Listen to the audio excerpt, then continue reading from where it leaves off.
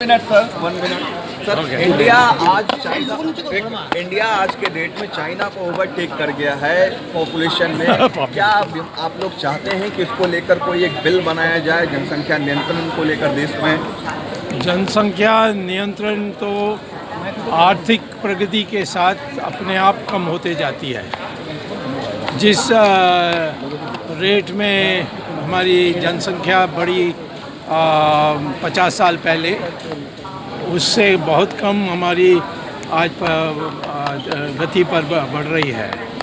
तो जनसंख्या के लिए इलाज तो एक ही है वो है कि तो आपकी जो आर्थिक प्रगति है उसकी दर को 10 प्रतिशत प्रतिवर्ष करनी चाहिए। वो यदि होगा तो अपने आप हो जाएगी।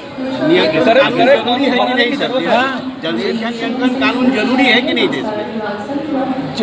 जब तक आपके इकोनॉमी आपके जो अर्थ प्रणाली है, वो अनुकूल नहीं है तो लोग क्या करेंगे? अपने बच्चों को ही बच्चा पैदा करके उनको नौकरी में लगाएँगे या अपने खेती में लगा देंगे? तो मैं कहता हूँ कि जब लगता है सब हमारे देश के लोगों को कि बच्चों को पढ़ाना भी आसान होगा, उनको नौकरी मिलना भी आसान होगा तो अपने आप लोग परिवार का नियोजन करते रहेंगे।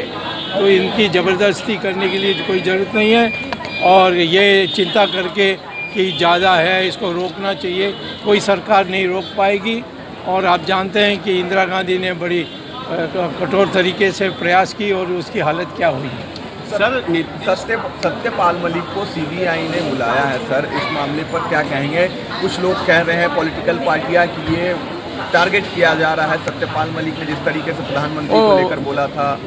वो बहादुर आदमी है और वो सीबीआई की हर सवाल पर जवाब दे सकते हैं। ये उनको नहीं बुलाई है उनके एक जो एक अपराध की जाँच चल रही थी उसके संबंध में उनके पास जानकारी है उसके लिए बुलाया गया। तो इससे अभी हम ये नहीं कह सकते हैं कि क्योंकि उन्होंने बयान दिया इसीलिए इसको बुलाया गया इसके कोई संबंध नहीं है। राहुल गांधी की सदस्यता जाने के बाद जो स्थिति बनी है नीतीश कुमार पूरे विपक्ष को लीड करने जा रहे हैं। क्या लग रहा है कि सब सब सक्सेस हो पाएँगे? नीतीश कुमार तो मैं बहुत पुराना दोस्त है जेपी मूवमेंट के टाइम से तो मैं ना कैसे कह सकता हूँ।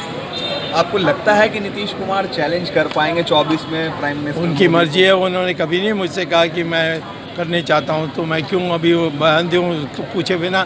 आज मैंने टाइम मांगा तो मैं मुझे टाइम देंगे। यानी वो वो कुछ और व्यस्त नहीं है तो हम उनसे मिलेंगे और उनसे सीधा पूछेंगे। डायरेक्ट आप ये बात नीतीश कुमार से मैं पूछूँगा कि आपको इंटरेस्ट है कि